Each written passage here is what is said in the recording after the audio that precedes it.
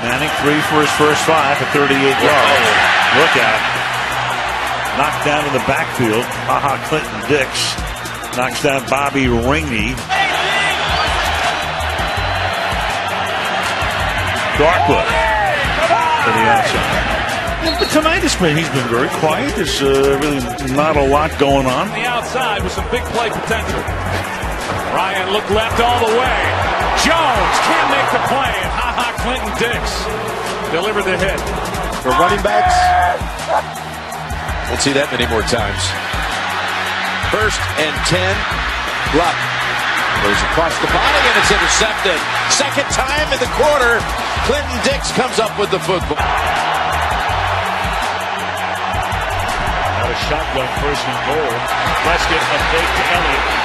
And he's inside the five, down to the Prescott already has three rushing touchdowns this season. Third and nine coming here. Barkley has some time. Got to fire it deep. It's high. It's intercepted. Ha ha. Clinton Dix has got it. Looking for a return. Gets a block. Reverses field. And he's taken down at the 42. To go on fourth down and a yard a moment ago. It was very late to send out the field goal unit. First down throw. And reception made by Terrance Williams. The first down to the 35.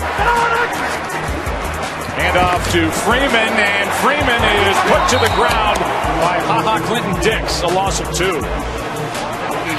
He just got activated. He hadn't played all year. Yeah, suspended, like Mike Pennel, both activated for the first time all year today, and that's a big carry by Ezekiel Elliott. Down on second and 10 from the Green Bay 45 yard line. Wentz. That throw sailed out of his hand high. Intercepted by Ha Ha Clinton Dix. Down now for the Vikings. Third and a yard and a half. Bradford. End zone broken up. Ha Ha Clinton Dix broke it up. Target was Kyle Rudolph. All right, so a third down and a yard. And they hand it off to Lucky Whitehead. And look out. Whitehead Jackson, he's really come out of nowhere. Second and 10, looking for some room on the ground. Getting to the 22 goes Bobby Rainey. Second and 10. Another blitz. It's picked up. Barkley fires. And that's high the return takes it down the Bears 45. Still trying to get him into the game tonight, basically. Big run on the outside, and this is Bobby Rainey able to take it for a first down. A lot of movement. Oh, boy. Now they get to him for the first time. It's Clinton Dix who comes up. How about his stat line here in the first half? Having won eight straight division games, the Texans. Oh, that's a tough one.